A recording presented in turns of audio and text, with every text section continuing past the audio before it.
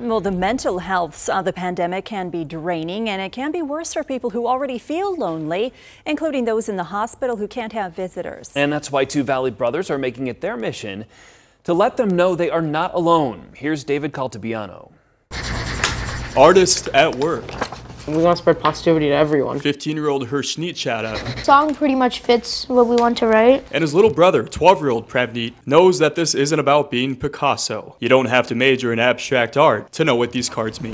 The brightest um, stars shine in the darkest nights. Each message, a takeaway. You're in a really troubled mood, you have like a bad day, but that's your time to shine. That's that's your time to make a comeback in life. It can be much simpler than Um, that. be positive. This is a part of their initiative, Project Smile AZ. Every card, Don't worry. Be happy. filled with words of encouragement, will be sent to someone who may have to isolate during this pandemic. They could be in a hospital, even a homeless shelter. When that person opens up that card, what do you want them to take away from that?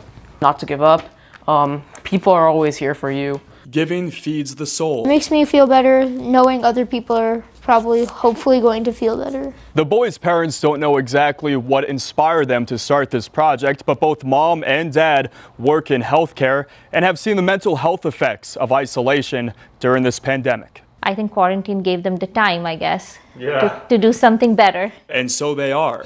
We just like decided to give the patients who are like really lonely something to cheer them up. 2,000 cards down, 2,000 people cheered up. They say this gallery is never ending. I want to make everyone smile from A to Z. In Peoria, There are people there who still care for them. David Caltabiano for Arizona's Family. And you can help these brothers bring smiles across the state with a personalized card to somebody who really needs it. We have a link on our website, azfamily.com.